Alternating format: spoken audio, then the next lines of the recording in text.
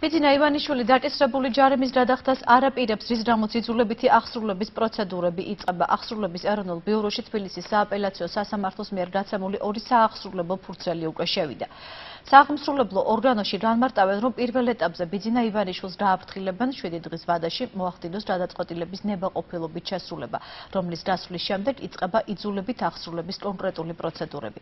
ბიძინა ივანიშვილს სასამართლოს მიერ დაკისრებული ჯარიმის გადასახდელად ვადა გუშინ ამოეწურა თბილისის საქალაქო სასამართლოს გადაწყვეტილებით ივანიშვილი ჯამში 74 მილიონ 325065 ლარით დაჯარიმდა.